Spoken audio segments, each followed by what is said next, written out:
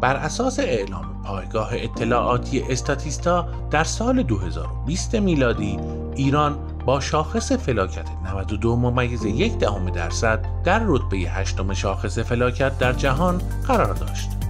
شاخصی که به طور سنتی از جمع نرخ بیکاری و نرخ تورم به دست می آید.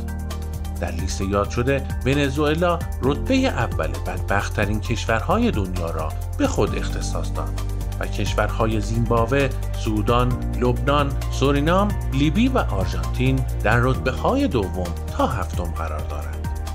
سند چشمانداز 20 ساله علی خامنه ای ایران را در سال 1404 در جایگاه اول اقتصادی، علمی و فناوری در سطح منطقه آسیای جنوب غربی می‌خواند.